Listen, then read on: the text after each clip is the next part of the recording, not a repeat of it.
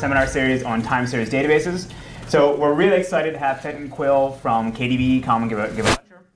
So KDB is probably one of the oldest time series databases that have been around since the 1990s. Um, and for me personally, it was their, their architecture was heavily uh, influenced the design of the HStore system, even though HStore was not a time series database. So again, part of what the seminar series is about is try to understand what time series databases are and why didn't KDB solve this problem you know, 20 years ago.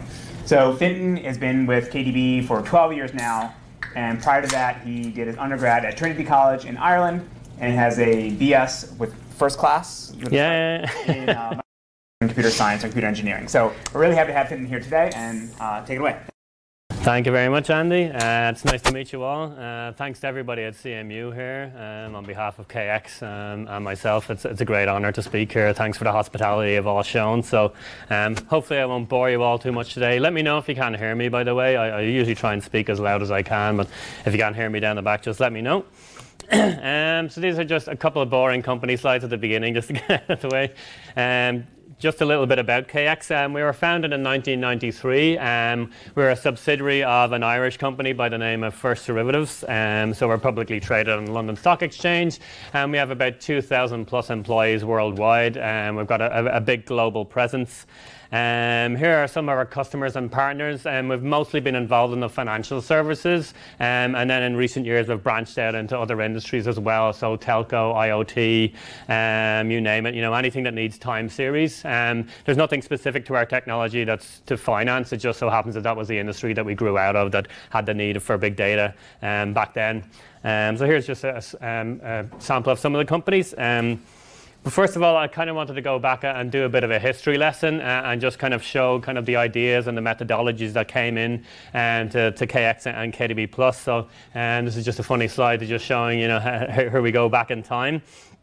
And so it kind of all goes back to this gentleman here. Um, his name is um, Kenneth Iverson. Um, he's a Canadian um, and he worked at um, IBM. He's an IBM fellow um, and he was at Harvard as well. and he started a language by the name of APL. so the idea being that everything was a vector programming language, you know, everything was vectors. You thought of everything in lists. And what he wanted to do was basically create a programming language that was as near to the scientific notation as possible. And so something that, you know, scientists and mathematicians could kind of write out as near to what kind of they were learning. And he basically came up with this um, Turing um, lecture-winning paper um, called Notation as a Tool of Thought.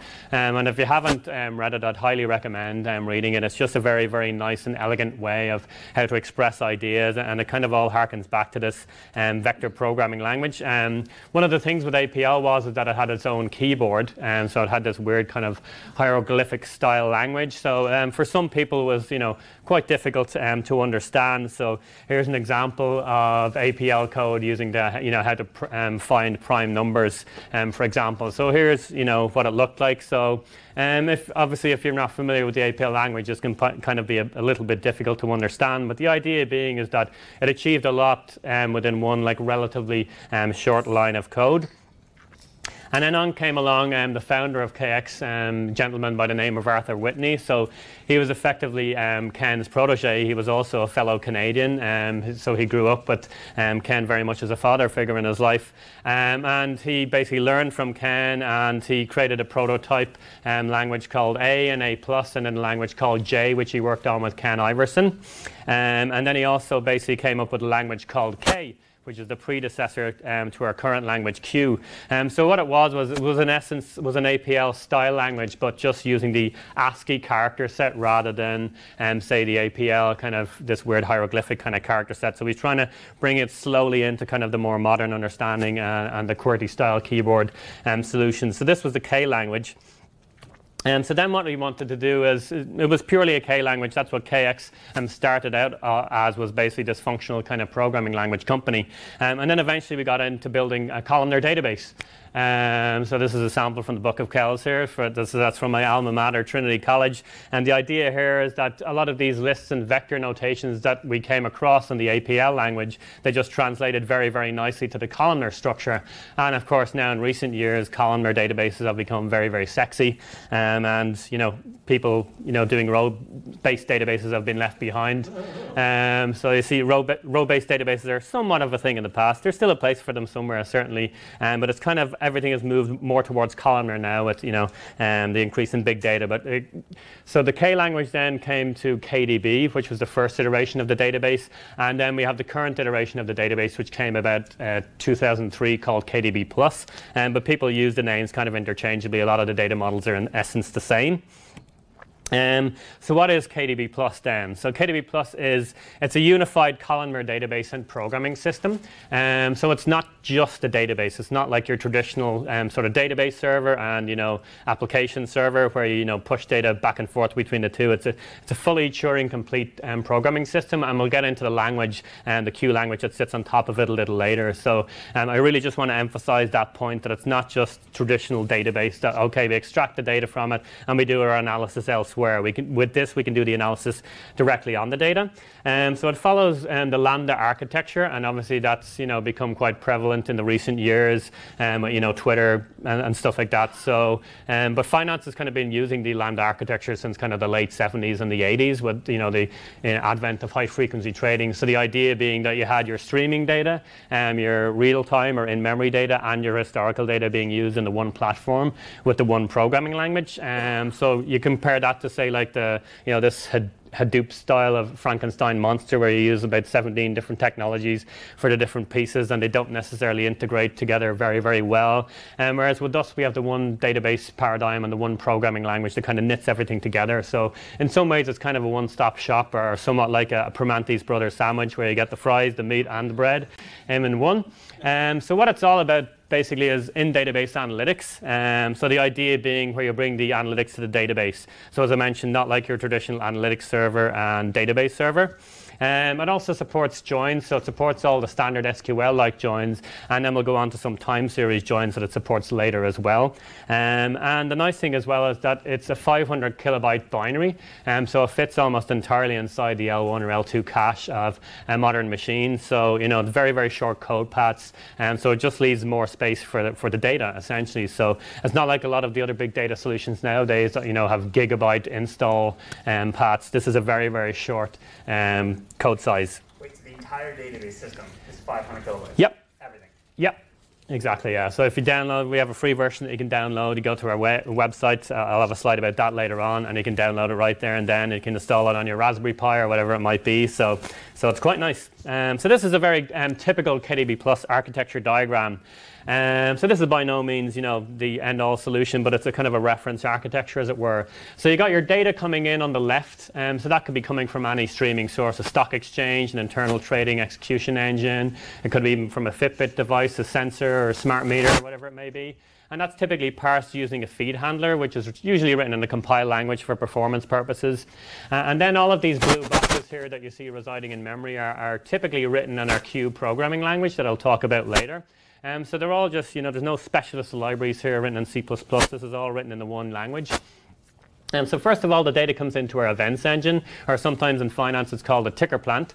Um, and what that does is basically it distributes data downstream, so it's a data distribution engine.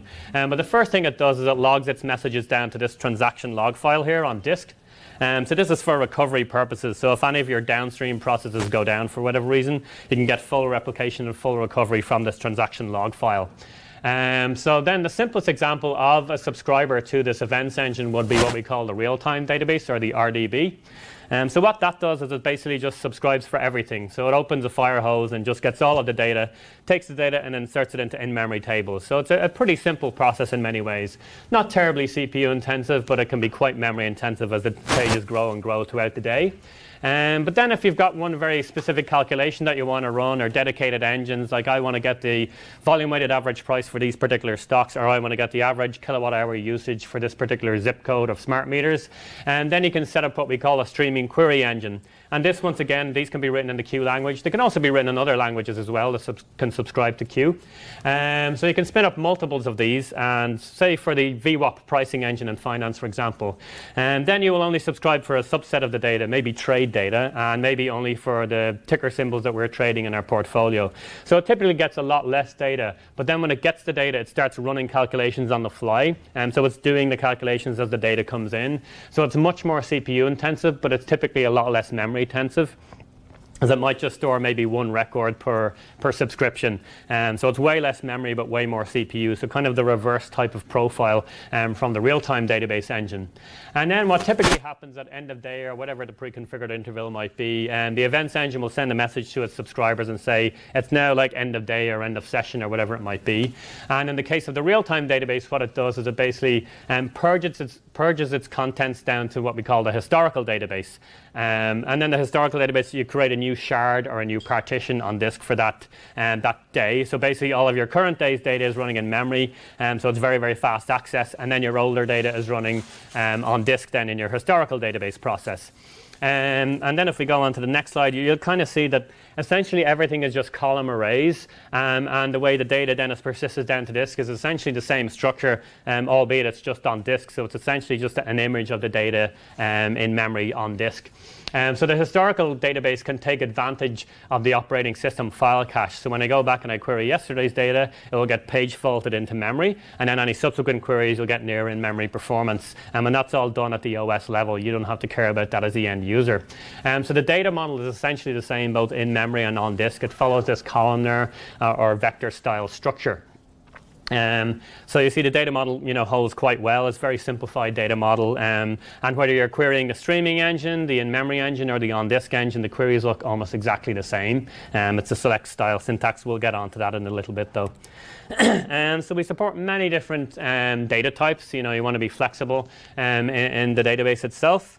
And so here are just some of the database data types. We've got Boolean types, we've got numeric types, and we've got character types, and we've got a symbol data type, which is quite important.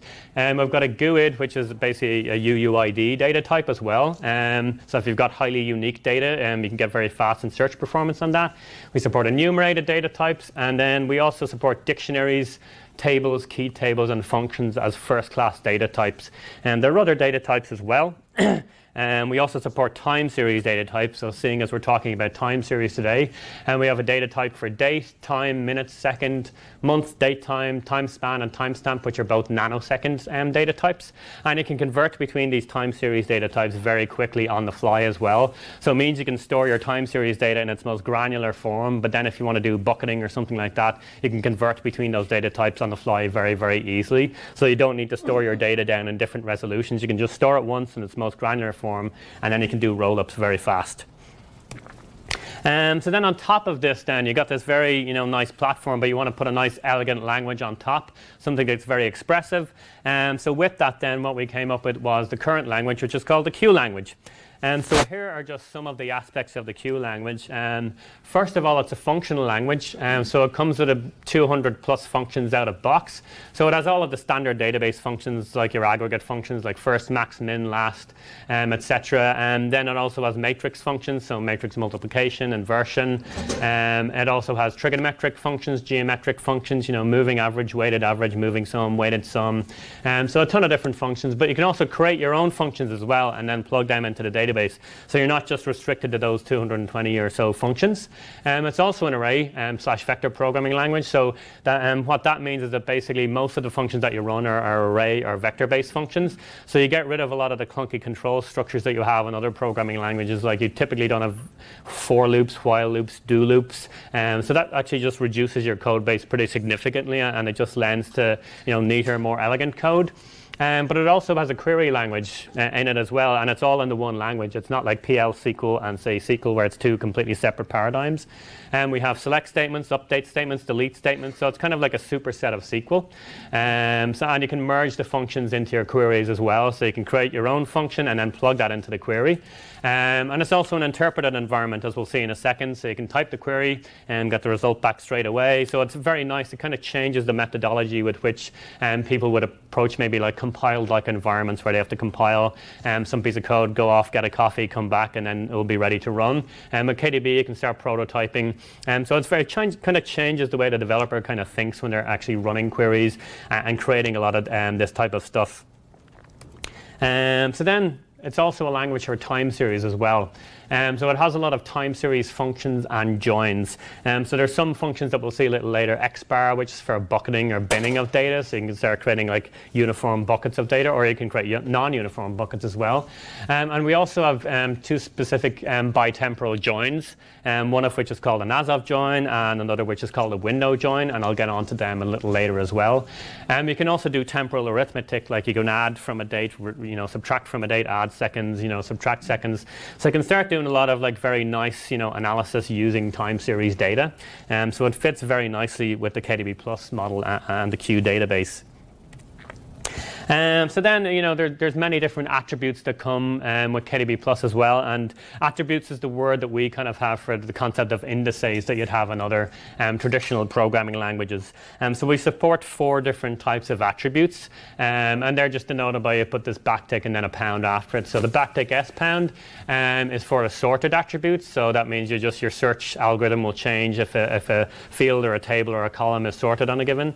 and you can have sorted on an entire table or you can have it on a dictionary, or you can have it on any of these data types. Um, then there's parted, um, and what parted basically means is within a given partition, um, you have a step function, so your data within a given shard or a partition on disk is held contiguously. And then we have a unique value. Um, so obviously, if you're doing that needle in a haystack style query on, on an ID column or something like that, you get very fast um, performance. And then we have grouped, which is like a, a more traditional index where you have, uh, you know, a hash map style index that you'd have built in a traditional database. So we have these four different types of attributes, and they can change the performance of a query vary very, very drastically in terms of you can get way, way faster performance where you can take advantage of these. Uh, and some of them are better placed for in-memory data structures, and then some of these attributes are better placed for on-disk data structures. Um, so you got some flexibility then. Um, but it's not like other databases where a lot of the time they'll just index every single column, and then all of a sudden there's this huge memory overhead. And you typically only tend to put these attributes on maybe one or two columns out of your table. Um, so you, you use these quite sparingly, but you'll find the performance is very, very good these are attributes that you're defining when you create the table. Exactly. Yeah, yeah, yeah. So that is, and then when say when data is coming in, say to the grouped attribute in memory, it will maintain that attribute. Yeah.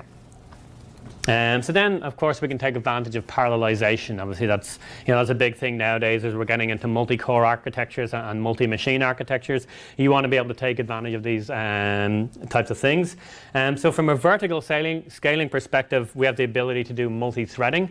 Uh, I mean, all of the multi-threading is done under the hood, so it's abstracted away from the end user. Um, you just start off your process with multiple threads. Um, and one of the nice things that we put in more recently is we've actually gotten rid of serialization in between these threads. So that means then you can get really much, much better performance um, with these multi-threaded queries. Um, and then we automatically distribute the queries across the CPU core. So there's no like heavy, clunky multi-threaded API on top of the database they have to learn. It's very, very simple and it's kind of abstracted from away from the end user. So if there's certain query patterns that are just automatically parallelizable, KDB Plus will parallelize them. Uh, so, so that's how we scale up. Um, and that's quite popular in finance where they got data coming in throughout the day and they're trading on that data. So they want really, really fast access.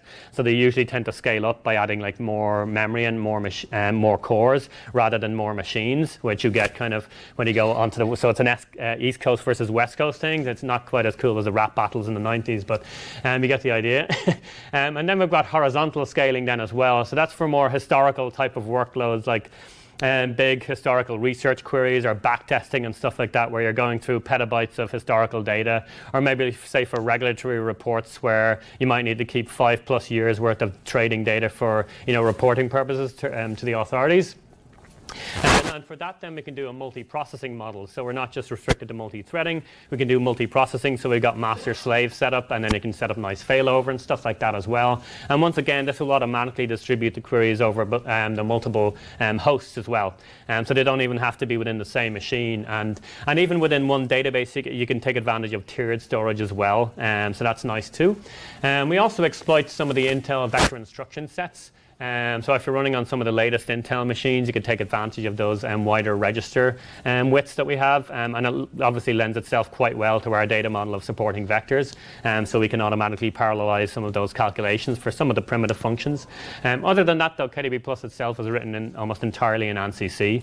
Uh, so it's uh, hence you know the 500 kilobyte executable. we also support native MapReduce. I mean, MapReduce has been around forever. I mean, even though you know some of these West Coast companies like to think they invented it. Uh, APL has basically had MapReduce style semantics um, way back in the 50s in the mainframe days. Um, so we have MapReduce um, style built in. So whether you're doing the multi-threading or multi-processing model, and we can take advantage of that. Um, and then we get on to compression. Just take a quick sip of water and let this slide sink in. Um, so we support compression then. Um, so we support compression from a few different viewpoints. Um, so built inside the executable isn't just a database, but we also have a WebSocket server and client, and we also have a HTTP server. So all inside that 500 kilobyte executable. Um, so it's a fully um, compliant WebSocket server, um, and it supports the WebSocket compression standard. And the second type of compression is in-flight compression um, between hosts. So if you're sending large amounts of data, say from machine A to machine B, you can compress that data before you send it over the wire. Um, so you get better bang for your buck in terms of bandwidth. Um, and then we also support on-disk compression, which of course is very important when you're storing, you know, years and petabytes worth of, you know, financial um, market data or streaming sensor data, etc. Um, so we support four different compression algorithms. Um, the first is our own internal algorithm, which is the same algorithm we use for the in-flight compression.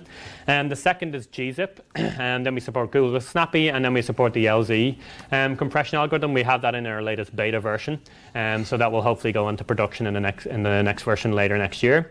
Um, and you can obviously offload some of this to hardware compression boards as well. so KDB Plus has very very few library dependencies. The only library dependencies we have are actually on these compression libraries. Everything else just uses standard um, OS system calls, so it's very, very close to bare metal, which is why you get the very, very fast performance. Can you, can you say a little bit about what KDB's algorithm actually does compared to you know, Snappy or LZ4? Um, so it's, it, yeah, it was basically, it doesn't compress quite as well, but it was all built about speed, really. Um, so it was built more towards speed, um, and then specifically was to doing a deltas on time series data. Um, so that was one of the very important things. obviously, when you're doing nanosecond time stamping, you're getting very granular time stamping, so they don't compress as well. So speed and time series is what was kind of more optimized towards. So yeah, the gzip, for example, you get way better compression, um, but then the decompression is going to be a lot slower.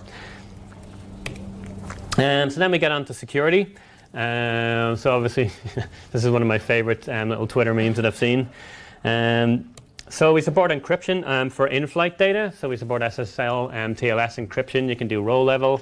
Um, you can do um, columnar level security as well. Um, we don't support on-disk encryption at this point, but um, our, all of our data that's on disk is typically just in file and folder format. So we just can rely on the um, OS file system um, to take advantage of the encryption there. but it's something that we may take a look at. And then in terms of APIs, then we want to be able to connect to a lot of these, you know, cool different tools that are out there nowadays. You know, not everybody necessarily needs to use a Q language. You can use other libraries as well, but still take advantage of the power of KDB+. Plus. And so here's just a, a, few examples. There are many, many more. So if you're, say, you know, interfacing with other database solutions or maybe interfacing with the Tableau front end, we have ODBC and JDBC libraries. Um, and then we've got native libraries for, you know, C, C++, Java, Python, R, Kafka, etc. Um, and these libraries typically work in one of two ways. They, they either just open TCP IP socket connections, push data back and forth, or another nice thing that you can do with KDB Plus is you can actually embed shared objects. So you can load shared objects into the same memory space. So that's in fact how the Python and um, R APIs work, where you can actually have the Python interpreter um, and the Q interpreter running in the same memory space. So you could say run, uh, say, a NumPy um, function or routine on KDB Plus data, or, or conversely do maybe a pandas routine uh, or say the KDB function on a pandas um, data frame. um, so that's quite nice because then you don't need to copy data back and forth and you don't need to go through the TCP/IP stack. You can kind of avoid that. Um, so then uh, we can move on and then we can actually kind of see it in action. Um, so we'll have a look at our demo environment. Um, so you'll see it for your very first um, time, hopefully. Or has anybody actually played with KDB Plus here before? No? Okay, cool. Uh, so the demo environment that I have here, it's um, 31 terabytes in total. Um, so it's actually real New York Stock Exchange data. It's from January of 2013 onwards, um, up until yesterday, in fact. We load it on a nightly basis. It has about 1.3 trillion records. Um, it has the raw trade and quote data, like the raw message data that comes in, so very, very large tables. Um, it has some derived data as well, so for each date in each stock, it has the open, high, low, and close pre-calculated. Um, the machine that we're running on has about a half terabyte of RAM, but to be honest, most of the queries that we're running here are on disk, so we actually use very little memory. Um, so we wouldn't even need that much in practice for the queries we're going to run. Um, it runs on 8 Haswell cores. Um, we typically turn off um, hyperthreading. Um, they're 3.5 gigahertz, they're pretty fast clocked. Um, and the queries are run fresh from disk, so it's all spinning disk as well. There's no SSDs or NVMEs um, running on this drive, albeit they're 14k RPM, so, so pretty fast. Why do you turn off the hyperthreading? Sure. Why? Oh, uh, why do we turn off the hyperthreading? Um, well, it's one of those things that traditionally we used to just because the, the, the hyperthread used to get in the way because we'd be able to drive the CPU so fast that we found that the hyperthread would actually impact somewhat. But to be honest, more and more nowadays we find in some cases we turn it on and it has negligible effect and sometimes might even increase performance. So the, the lines with that have now been somewhat blurred. Um, so I can I turn off the PowerPoint, I guess. And, yeah. okay, so here we are in, the Q environment here. So as you can see, it can do basic math. We do 1 plus 2, it does return 3. And so we're doing good. And we can create lists very easily. So you can do A equals to 1, 2, 3, 4. Um, and then it can do, say, sum of A. And we can do sums of A, which gives me the running sum. So you got a lot of these different types of functions. And I can create a table very easily. So I'm going to create a simple table T, which has two columns. A equals to 1, 2, 3. B equals to, say, A, B, and C. And then I'll create a third column C, which is going to be 4, 5, and 6. so here I go. I have my simple table here. I can do select sum of A from T. So you can start creating tables and start creating these data structures very quickly and very easily. Um, I can start creating functions then. I'll create my own function and um, just using these um, parentheses and I can just do x plus y for my two input parameters. Um, so now I'll just clear the screen. So now we got our function um, and now I can apply that directly into the query. So I can do say select func and then I can do the columns A and C from T. Uh, and you see we get the result back here. So we sum the values from those tables. Likewise, I can create a second function. Um, so you can have functions inside of queries, but you can also have queries inside of functions. So I can do, say, select um, from t where, say, a equals to x, where x is our input parameter. And now I can do func of 2 and just pass in the value for, um, say, 2. And it will return that corresponding row from the database. Pardon? Variable x is the input? How, how, did the system know that x was the input? Oh, so yeah, so there's we have the concept of implicit parameters, so you can pass up to three implicit parameters: x for the first, y for the second, and z for the third. And then you can also also um, put in explicit parameters as well, um, and you can do that very easily. See, I'll create func three here, and I'll put in my param will be just called param. Um, and then I can just explicitly put it in here just inside the declaration. So if you want to make maybe more readable code rather than have x's and y's and z's, I can do this. So then I can just change this around and just do func3 and pass in 2 and you see the result comes back. So, um, so you see the idea here where you can have queries inside functions and functions inside queries. Um, so it all um, melts in very, very nicely. Um, so now we'll go into the database. We're actually in the database process that we're currently running. Um, so you see that there's very large tables here. You can do a simple count. Um, so count returns very, very fast, whereas doing a count on a table in another database typically takes a, a, long amount of time. So you see there's about 771 billion records in this table, so it's quite a large table. Um, so it has how many dates in the table? It has 1,213 days. Um, the last date, just to show you it has real data, is yesterday's date. Um, the first data is from, I think, January 2nd of 2013. Yep. um, so you can see you can start doing counts. Um, so the first query I'm going to run is against um, this relatively small table, a daily table. So it's for each um, date and each um, ticker symbol. It has open, high, low, and close. Um, so I'll just copy the query across first. Hopefully my copy paste skills will be good. Um, so this is a pretty simple um, SQL-like statement. Um, first of all, I'm just going to put a backslash t in front of the query, and what this does is it actually times the query, um, and it returns the amount of time taken in milliseconds. And so as you see, this statement here is doing a select the date, the open, the high, the low, and the close um, from this daily table where the symbol equals apple. Um, so this is a pretty simple, you know, if you're used to an SQL database, isn't too much of a jump in terms of the syntax. Uh, it's relatively straightforward. Um, so I'll run this, and it will take about 530 milliseconds. So this is the number of milliseconds taken to execute the query. Um, I'll run it a second time, and you'll see now the second time you see this effect of caching. So it's cached the data in memory, so it's about like 10, 15 times faster. Excuse me. What does that backtick mean? Um, so this backtick, this is the, what we call our symbol data type in the Q language. So this is like a varchar um, in, standard SQL databases. So we just denote it by the backtick because we just like to use as little code as possible. So if we can drop one character rather than having an enclosing um, backtick. So yeah, so this is the specific symbol data type, which is essentially an interned character string. Um, so it basically means it's one object rather than say four characters as a vector.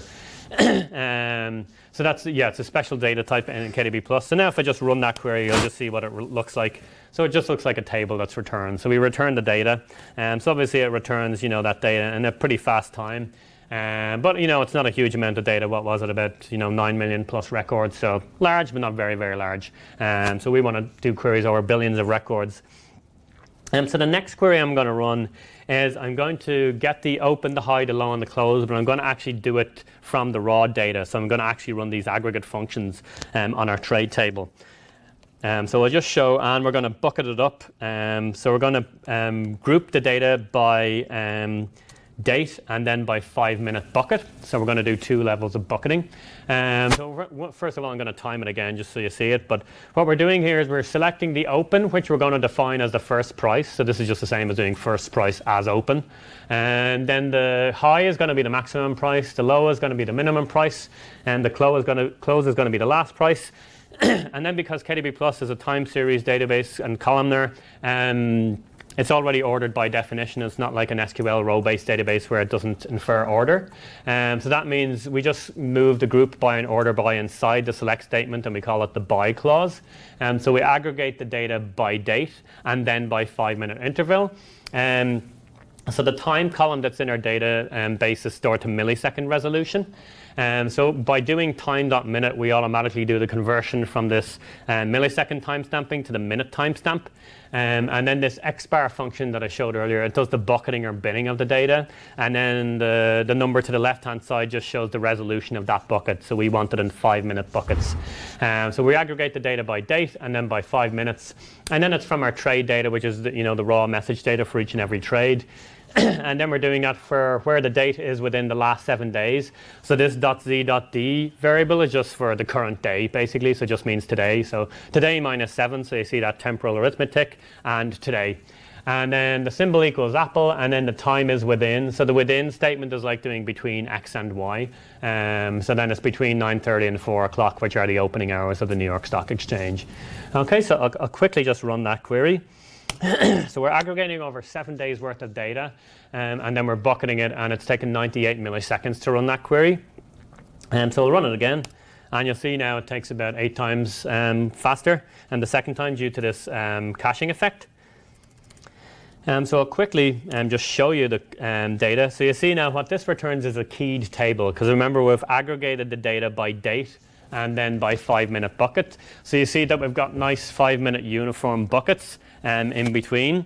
Um, and then we've got our open, our high, and our low, and our close. And so basically, this means that between 9:30 and you know 9:34, 59.99999, and um, this was the open price, etc., etc. And so we do this bucketing and, and binning um, very, very quickly. Um, and then we can change. You know, we can go say if we want to do a 30-second window instead of a five-minute window, we can go then and we can change that. Um, so just to show you, I'm not you know making up anything. You can do that. And then you see, I just have to, you see the idea, just it's overflowing on the, um, the just the console here, but you see the idea here, it's date, and now you see we get this um, second um, data type. And so you can start doing this bucketing and binning of the data very, very easily. Um, you see the queries return very, very fast. So if you wanted to, you know, does anybody want to give me a, a stock that they want to see? MDB. MDB? Is that in the NYSE? I'm trying to think what stock that is. There we go. See the result book comes back pretty much straight away. That's Mongo. That's Mongo. Oh yeah, they just came up. That's yeah, yeah. excellent. The enemy. Alright, that's on video. You said Yeah. that, not me. yeah, exactly. um, so yeah, so you see, you know, th- these are the the, r- the real um, tick by tick data. Um, so now what we want to do is I want to show you one of these what we call the bitemporal queries. And so what I mean by that is when we're joining two different time series. And so if you think about it in practice in, the world of finance, but this you know can be obviously in any other industry.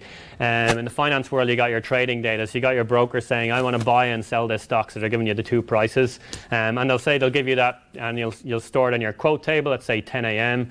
And then maybe you want to trade on that, but maybe you mightn't trade until like a few seconds later or something like that. So then you've got a trade record and you've got a quote record, but they don't necessarily have the same time. So if you try and join the data using one of these like standard SQL joins, you'll get a mismatch because they're not exactly time aligned.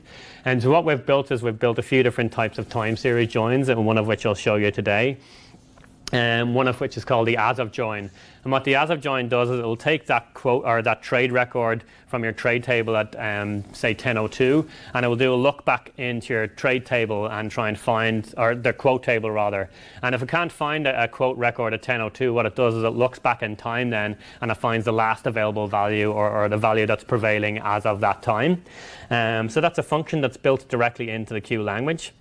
Um, no, actually, I'll just go back to the last query and I'll just show you the, the number of records we were actually aggregating over um, when we ran that aggregation. So we aggregated over 745,000 records in just over, I think it was 18 milliseconds.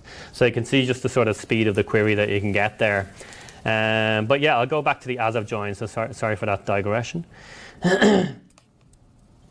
Um, and I'll, I'll run this as of join, so I'll just do the backslash t. Um, so this as of join is just a function, so you see this functional syntax with the square parentheses. And the as of join takes three parameters. And the first parameter is the field or, or the column that we're joining the data on. Um, so that's this backtick time. And then we have the semicolon separating the arguments. And the second argument then is a table that we're going to do the lookup from. And so we're going to select the time and the price um, from our trade table, where the date is the last date. Um, the symbol equals Apple and the time is within 9.30 and 4 p.m. And then the last um, parameter is a table that we're going to do the lookup into, which is the quote table or the NBBO, which just means National Best Bid and Offer, um, which means the best quote available as of that time. So we're selecting the time, the bid and the ask from our NBBO table, where the date is the last date and the symbol equals Apple and the time is within that window. um, so I run that query and it takes 87 milliseconds to run. And I'll run it again. You see it takes about four times faster. And obviously the caching effect isn't as you know noticeable this time, and that's because we've already actually cached some of that trade data in the prior query. Um, so you see that the caching isn't quite as uh, accentuated in the second um, query. Um, so what I'll do now is I'll actually just show you what the data looks like. So th- this is doing a join between two tables, Yep, and you write the join as two separate queries. yep. Okay. So it's two queries and then it's joining based on the time column. Um, so the time that it shows here is actually the time off of our trade record. So, so this the table in the second or the, the left-hand side table, as it were. Um, and then the price. This is the price that was traded, and then this is the bid and the offer. Um, and at the beginning of the, the day, there, there's no bid and offer because it probably became just before that 9:30 offering. Um, so this is the prevailing bid and the prevailing ask. Um, so what I could do is I, I can maybe. Um, Say then you might ask, well, why don't you show the quote time as well? So the as of join actually suppresses the secondary time, um, but you can just you know get over that easily by just duplicating the time column and just creating a, a column called Q time, and that will just duplicate that column.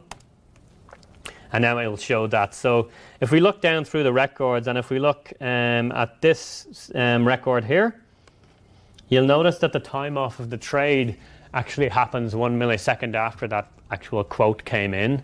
Um, so you see that the ability to do this it effectively does a binary search back in time and to find the last available value. Um, so you get very, very fast performance. um, so I'll just show you like, Is, is there a way to show the query plan for that query? Like, can you see it from the terminal? oh yeah, yeah. So there we go. So it took 20 milliseconds to run that. Like, not, not, sorry, like, like, like, you know, you do explain in SQL. to see actually like the, the query plan tree that actually used to execute? Uh, no, we, we don't have anything. Well, we do have a profiler, but it's a separate library you have to load in. I don't have it loaded in here though, but yeah, I, I could certainly send you information on that.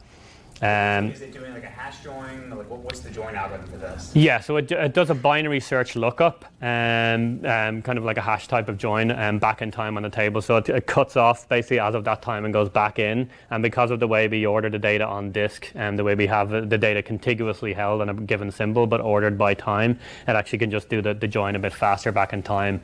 So as you see, it does about 130,000 um, plus joins um, in 20 milliseconds, um, or searches rather. um, and joins, I guess. Um, so that's a, the, the as of join concept. Um, um, and then we, there's another version, um, a more generalized version of the as of join, which is called a window join. And there's an extra parameter that you can specify where you can have a window of time. So you could have something like, say, two seconds before an event or one second after an event. Say within that three second window, then um, I want to get, say, the average price or the first price or the last price. Um, so that's a more generalized version of this as of join. The as of join is a very specific version where it just gets that last value um, as of that time. So I'll go back to my slides now. Question? Yep based on what you said, it seems like it's optimized for joining on time. Uh, that, that particular join is optimized for joining on time, but we do support like left join, and inner join. We also have a join called a plus join as well, which actually adds um, numbers. So we support like the standard SQL joins as well. We just have these specific um, time series joins too. And there's also variants of the as of join and the window join for whether you include, you know, the end of the window or you exclude it, you know, um, whether it's closed um, intervals or, or, open intervals. Um, so there are some, so there's AJ0 and WJ1, for example.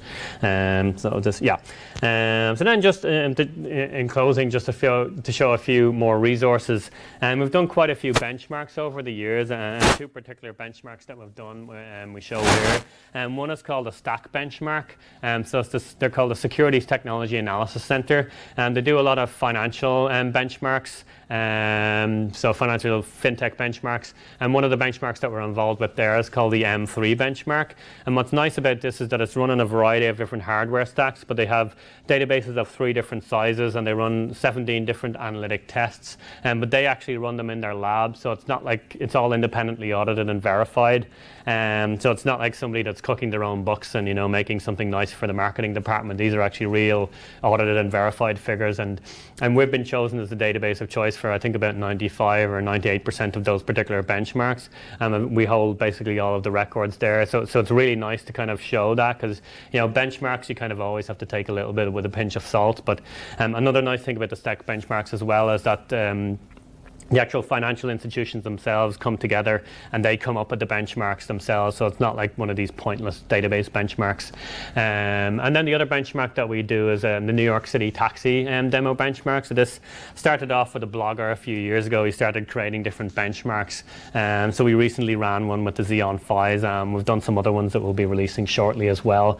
and if you go to this particular blog, you'll see that he's, he's done it on a variety of different other solutions. Um, you know, like Redshift, um, you name it, and other different database solutions, and, and, he's benchmarked them all. So once again, it's kind of he's run them himself. Um, so it's not like we're cooking the books to make ourselves look good. He's been able to, been able to verify it. So it's, it's a good way of just um, showing kind of performance we can get.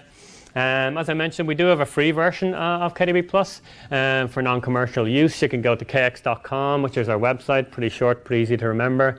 You can just give an email address. It doesn't even have to be a real one, um, but please put in a real one for our marketing team. Um, um, so we've got builds available for Windows, Linux, um, both on ARM and regular x86, and then we've got OS X build. so KDB Plus, as I mentioned, is a pure software solution. Uh, so that's uh, we also have an academic license as well, and indeed they're actually using it, I believe, in Carnegie Mellon for the um, in New York for their financial engineering class. And um, so we do give um, free full 64-bit um, versions available to academic institutions. So if you're interested in that, come um, speak to me afterwards. Or we also have an academic page on our website as well. Um, For developers, then there's a pretty cool website called code.kx.com. Um, so kx.com is kind of like the commercial website. So if you want to see some of our other offerings on top of the database as well, um, but we've also got this code.kx.com. So if you want to start learning the language or look at white papers or, or learn all of these different functions and, and, see, you know, say examples of the functions and how they work with edge cases, like say nulls and infinities and things like that. And this is really, really useful. We've put a lot of work into it, so we're quite proud of it. And there's also a Google group you can join as well. It has about, I think it's 14 or 1500 members. So you can go there, ask a question. Oh, like I have this query, I want to make it a bit faster, or I have this library, I'm having trouble.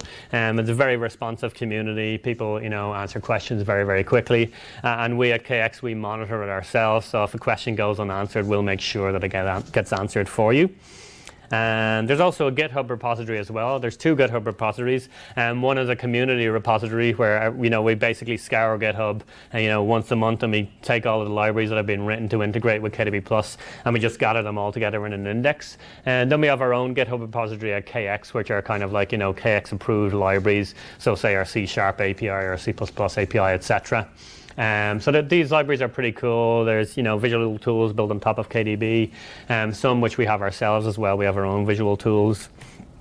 And we have a variety of meetups throughout the world as well. So if you go to kx.meetup.com, we got meetups everywhere. In New York, we have one every month, and we got like two or three speakers. Um, so it's pretty cool. And then there's two books available. Um, we actually recently purchased uh, the rights um, for Q for Mortals, and that's actually now been fully put on the code.kx.com site that I mentioned. Um, so you can get an electronic version, but you can still get the print version as well. Um, so that's a really nuts to bolts guide of how to learn the Q language from start to finish. It's very, very well written. Um, and then the second book is called Q Tips. Um, it's written by a guy called Nick Psaris, who works for a customer of ours. Um, and that's very much more from an implementation side of things. So he shows you how to build up an actual actual application or system using KDB Plus. So they actually complement each other quite well, the two books, because if you want to learn the language, you can use the Q for Mortals. But then if you want to get into the more implementation side of things, like how do I build a, some complex event processing trading type of engine, um, you can use the Q Tips book. Um, and then that's about it from me. I think I've, I've finished before time. Actually, I was, thought I was going to be over time. Um, obviously, follow us on Twitter, me on Twitter, um, or drop me an email. And if you've got any questions, um, we've also built some tools on top of the database in, in recent years. So we have a visualization tool called Dashboards tool, and then we've got an integrated development environment called the Analyst tool, which was actually designed by the guys who created the Eclipse IDE, and they're based up in our, in our research labs up in Ottawa and Canada. Um, so we'll be bringing more information about that over the next few months. So the Analyst tool in particular is, is really cool for data scientists. We have an inbuilt ggplot library, which is written entirely in our Q language. It's completely separate from the R Implementation. Um, so that's pretty cool. We have syntax highlighting. um, so maybe we can come back and, and, do a demo of that someday. But we also have videos available for that as well. Um, so if you're more, if you, you like, if you don't want this command line environment and you want to use a more traditional user-friendly um, IDE environment, that's pretty cool. So we recommend taking a look at that. Um, if there's any other questions, um, feel free to ask away. All right, him. Thank you very much. Uh, we have time for some questions. So, you know, as Andy mentioned, this is kind of a, a series of uh, talks we've been hearing about time series databases. Sure. So, like, what is, you know, how does KDB fit in this broader scheme of things? Are you seeing, I mean, I maybe don't want to say this on video, but are you seeing, uh, you know, you're winning out over certain things and maybe being challenged in certain segments by other um, things? Yeah, I'd say because for years, kind of finance was our kind of our bread and butter environment, as it were, and you know, finance I think has been ahead of the curve, especially more from a streaming um, data perspective, because they've always wanted prices to be in straight away, and now that's why in the last few years I've started to get out into other industries, like we're doing lots of smart meter implementations now, and you know, anything like everything is kind of time series now, you know, um, which is kind of interesting. I always see people in the last few years we're talking about unstructured data as the next big thing, but to my mind, I think structured data is going to make a massive comeback with all the IoT, industrial IoT, because um, you know computers understand structure, computers understand binary data.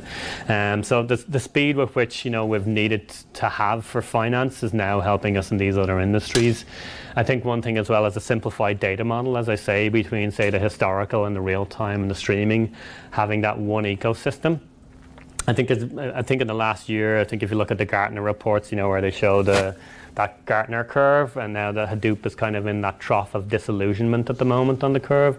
I think people are kicking back a bit. They've put in these very expensive Hadoop installations with multiple machines, when all they needed was one machine with maybe 256 gigs of RAM or something like that. So we see that a lot of the things that we've solved in finance now these other industries are approaching those problems because they now they're finally getting streaming data they finally need those low latency response times. Um, so in some ways, we feel like we've been a bit ahead of the curve, uh, and it's they're nice problems to solve. Like there's th- there's things like say geospatial problems that we're now having to solve. So we're kind of changing around, maybe adding in different data types or, or putting in different libraries um, to that effect. But we we almost see the industry coming towards us in some ways. But yeah, we're still moving towards the industry in other aspects as well. Like we're doing stuff around unstructured data. Like we are putting together a natural language processing library that's going into that analyst IDE tool that I mentioned, and then stuff like the ggplot so there's elements of that where there, there's time series, but we're not just a pure time series database. We can also do relational structure as well. We support foreign key joins, um, so we're not exclusively a time series database. It is full, fully relational as well. So we feel we kind of can mix both of those worlds together. Um, but we are very schema oriented, so we're very different from say like the schemaless folks, um, where it's kind of like everything is done, you know, ad hoc on the fly, whereas we're very defined kind of from day one. But you can convert between the data types very easily, as we've seen. So by being schema-like, it doesn't mean we're completely restricted. We can do the conversions pretty quickly. Um, so I don't know if that quite answers your question, or yes and no. stream of consciousness. I am from Dublin. Go on paper, like who's, who are the who are your biggest competitors? Um, who, who do you see in POCs? Yeah, so um, it, it depends actually on the industry. So if we go outside of finance, you're probably seeing a lot of the traditional um, databases like your Oracles and your IBMs, just because you know that's what those industries are used to, like utilities industry and stuff like that. They, they kind of didn't have huge data volumes, and they're only now getting into the streaming game. So the relational was perfectly fine for their use cases. It was batch loads from you know devices at end of day, but now they're getting more streaming. They need that time series capability. And um, within finance. Um, Probably uh, initially our biggest competitor back in the day would have been the relational, um, but now what we find is oftentimes if you go to say like hedge funds and prop shops, it will actually be home home baked solutions built on flat file systems. Um, so like like something just written purely in HDF5 or something like that, where they just want a flat file solution. But what happens there when we find we're winning out there is the fact that we have a fully complete programming system. Whereas what happens with those other systems, the flat file systems, is they're fine if you've got one very strict kind of use case that you're adhering to. But if you want to try and maybe look at your data in a different way, like we want to run back testing and not just streaming real time data, then they find they get a bit of a problem. So they, that's the, you know by being a general programming system and having this fully Turing complete programming language on top you know, we offer that flexibility within the language. It's, it's, a, it's a programming and analytics environment as well, whereas the flat file systems are great, but maybe for one very, very strict use case. And so that's what we kind we find we come up against. Um, we hear people talking about other time series databases as well. Um, but to be honest, the, the, speed and performance, I think by, by just being in finance, we've had that speed and performance. And that's really been, you know, our modus operandi from day one has all has been about speed, performance, and, and, and elegance, really. So like the notation of the language, um, which can, it's not for everybody necessarily, but that's why we have these open source APIs built on top of the database as well. Um, so what a lot of people will do is, and they'll do a lot of the heavy lifting, these large aggregate queries in KDB, and then they'll push that subset of data maybe into their machine learning libraries or, or their Python routines. Because um, obviously those languages aren't necessarily built for big data, like real, real big data per se. So yeah, so it's kind of a mixture. It really depends on the industry. We, we come across the traditional relational databases, and then we just come across, you know, hack together flat file systems. Um, so yeah, it's, it's, it's, very interesting. You go different industries of completely different um, competitions and stuff like that. So can you talk a little bit about like the system architecture, like how are you guys managing memory? How, what's the what's the runtime look like? Sure. Um, yeah. Um, so we support garbage collection. Um, so you can put you can get rid of garbage collection. So it's configurable. So you can have um, immediate mode where it does garbage collection automatically, or you can turn it off completely, or you can also do it where it's manually garbage collected. Um, so that's quite nice as well. You offer that flexibility. So obviously, if people are doing very low latency stuff, the last thing they want is garbage collection to hit in uh, and take advantage of that. So and the memory allocation is done via it's, it's done via buddy memory mapping. So the, powers of two. So it's a relatively simplified um, memory model, um, not necessarily the most efficient, um, um, but it's all basically about speed. So it was the, basically the fastest and most elegant memory model um, we could put together for the performance that we were trying to get. Um, so certainly there probably are better better memory allocation models. Um, and for the on-disk data, we use memory mapping techniques. So we memory map the data, and then we'll use we'll actually um, read um, only the subsection of those files from the page into memory, um, so we don't necessarily have to read the entire column. Um, and the compression works on the individual file level. so you could compress maybe an individual column for an individual day. Um, so you can get very, get very, granular with the compression as well. Um, and as I mentioned, you can use tiered storage. And so a lot of our um, customers will use is maybe for the last week's worth of data, they'll leave it uncompressed in a very fast local, um, say like SSD or NVMe, or, or, maybe sometime down the line they might even use one of these um, Optane or, or 3D NAND devices that are coming out from Intel. Um, but then the older data, then they might compress it and, and throw it down on a SAN or a NAS um, type of file system. But to the end user, it just looks like one monolithic database. Um, so the compression and decompression is taken care of by KDB Plus itself. The select statement looks exactly the same whether the data is uncompressed or compressed. So, that, so that's one nice thing is the architecture can be multi-tiered um, architecture. So that's why you can get these huge database installations, you know, multi-petabyte database instances. Um, we can also um, map the entire database as well in advance. Um, so you can map, I think it's upwards of, I think it's 128 terabytes or 256 terabytes, give or take some something is one or the other. I can't remember exactly which. So you can actually do that in advance. So you can create all of your maps. So then, you know, your obviously your virtual memory space is very, very large rather, than your real memory space. So that means we can take advantage of the memory mapping then. So the queries are always executed in memory. Um, so you page fault the data in, execute the data in memory. Um, so as I mentioned, the data in memory and the data on disk is essentially in the same format. Um, typically, though, when we spill out to disk, we usually reorder the data. Um, so when the data is in memory, it's usually time ordered when we're using that, say, lambda architecture style diagram that we had earlier. I'll, I'll just go back to it. Um, so when the data is coming in, like in a real-time database, it's usually ordered by time because obviously if you try to reorder the data, by say ticker symbol after every insert, you, you know, you just kill your performance. Um, so the data in memory is usually ordered by time in this streaming type of a system. Um, and then on disk, what we typically do is we reorder the data. And because most queries from a historical database perspective are maybe research style queries, like maybe one particular symbol or, or one particular, you know, range of, of, stock symbols that we're looking at. Um, so that means that it, it, lends itself much better for doing sequential disk seeks. So if you think about just a traditional spindle, um, if all of your data from Microsoft is held contiguously together and you're only doing an average price for Microsoft for yesterday, it will only go in and it will memory map only the columns that you're selecting, so it will leave any other column untouched. And um, we'll memory map those files and then it will only do sequential disk seeks for only that area of the file that corresponds to Microsoft. So basically reads as little amount of data as possible. Um, so that's one of the nice things. So you can take care of things. You can do, look at things like you know read ahead and stuff like that to actually you know um, page fault the data and, and, buffer the data into memory ahead. So it's really nice for sequential style, um, style workloads. And that model lends itself even better then when you start um, working with flash-based devices as well. So it's a kind of a natural fit to our model. You, you, you're letting so you're letting OS the OS manages what comes in and out. Exactly. Effectively. Yeah. Yeah. Yeah, yeah. So the caching is all actually managed by the OS. So as I say, it's all just simple system calls. You know, open and map, close, etc. So.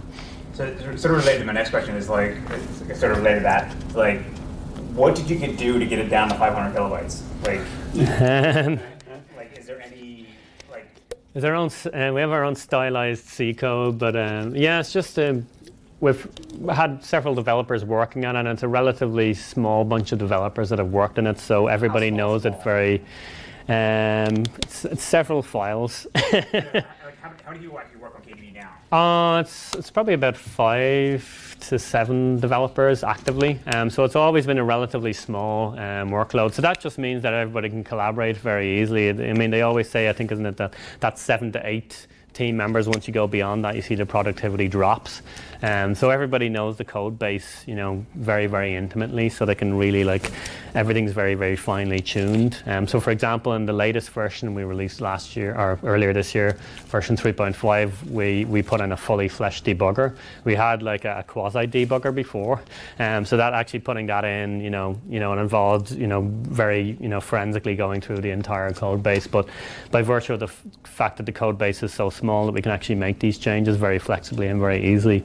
And it's also very nice from our customer's perspective because if there's a bug found, we can usually fix it within a matter of minutes, and we'll have a bug fix out later that day. So, from a you know a customer support kind of perspective, you know everybody talks about our customer support is fantastic. Just and and the code base actually lends itself to that. You know, rather than having this massive code base and millions and millions of different types of tests. You know, we've got our, we still have quite a lot of you know tests that we run obviously on the on database, but by having the code base so small, just you keep your instructions nearer to the cache as well. You know, it's, it's to do with pipelining and stuff like that too. So, yeah. Any other questions? So, so do you do um, the usual types of things, like if I've got multiple streaming queries and there's some factor of the, what they're computing that can be factored out, Do you do that kind of thing? Uh, yeah. Uh, so, so um, yeah, so you can have multiple um, attributes, you know, those like indices that we can have on, on different columns. Uh, but as I say, we typically only take advantage of one attribute in a given query uh, because you're going to reduce your, your size set so much by using the first attribute that the secondary. Um, so secondary indices aren't like really supported as such. Um, but with the streaming query engines, we can support multiples of those because it's just basically just file descriptors of the OS. So you can support like a thousand and I think it's 22 or something like that within and the, the operating system. So you can spin up multiple of these streaming query engines. That's why I put multiple of them in here. But they don't necessarily need to be Q code as well. What we often find is people might have a C++ trading engine that will just be subscribing for price data from our ticker plant or, or the events engine, as it were. So it can be any any, any type of language that could be written in the streaming no query engine. you do across. Um, uh, there are um, so one optimization is you can potentially bulk publish. Um, so that the events engine can do single publishing or can do bulk publishing. Um, and because we're a vector-based database, um, we use one mem copy per column. Um, so that means then, you know, whether it's almost like a thousand records or a million records, and because of the way we buffer data, the throughput you know, it's a throughput versus latency thing. Um, we can get really, really good throughput by bulking up the data. So say rather than publishing instantaneously, we'll maybe publish out every 100 milliseconds or every one second, and you get way, way better throughput then. we have examples that we show in some of our workshops for, like even from Java, you get like a 15 to 20x, you know, performance improvement by actually bulking the data together. And so, so things like that you can do, which can help with the stream and query performance. So once again, it's kind of a, it's a thing of are you throughput sensitive or are you latency latency sensitive. Um, oftentimes as well, what we sometimes find is you can have what we call a chained events engine. And what the chained events engine will do is it will subscribe to the main events engine, but it will actually start buffering the data. So the main events engine can publish the data as it gets it. Um, but then say the, the chained events engine can then buffer the data and then that might maybe push it down to say a screen because obviously you don't need a screen to be updating a million times per second, but maybe like twice a second or something like that. Um, so that's where you can start getting into these, and you can start chaining all of these together. You know, the real-time database could even be a subscriber. It's all just logic written in the Q language, so you can have much more complex infrastructures. Um, we also have the ideas of gateway processes as well, and what a gateway process might do is it might um, sit in between the historical database and real-time database. So, say if you don't care whether the data was in today or yesterday, um, it will just do the query rerouting for you and stuff like that. Or it can also do it over multiple machines or multiple regions as well, which can be a case with a lot of our financial institutions where they'll have data held locally, but then they want to give one kind of data warehouse feel. So they can have these gateways and load balancers. And once again, they're all written in the Q language as well. So you can get, because it's a full programming language and not just SQL, you can kind of write whatever you want. So. All right, let's, let's thank Pent again. Thank you very much.